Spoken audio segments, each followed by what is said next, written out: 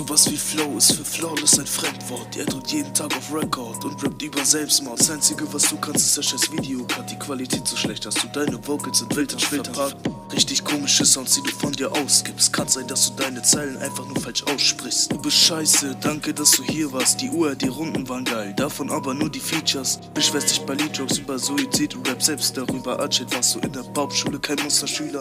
Kleines Kind, jetzt bist du regellos gefickt. Zerstückel dich und mach aus deinen Überresten Pilzgeschnitzeltes. Ist überall schon kläglich versagt. Im Gegensatz zu dir, Wichser, bin ich ein Unikat.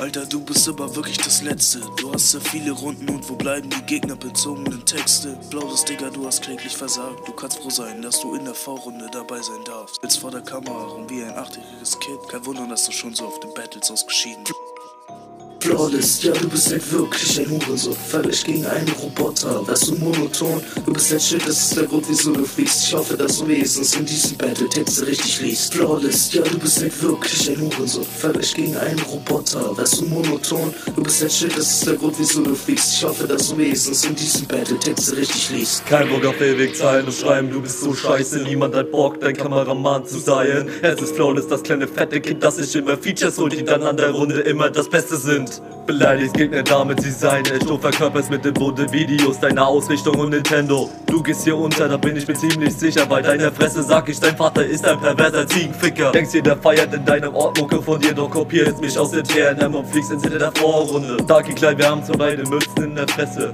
Doch die erste würde sogar eine kaputte Screen-Maske schenken.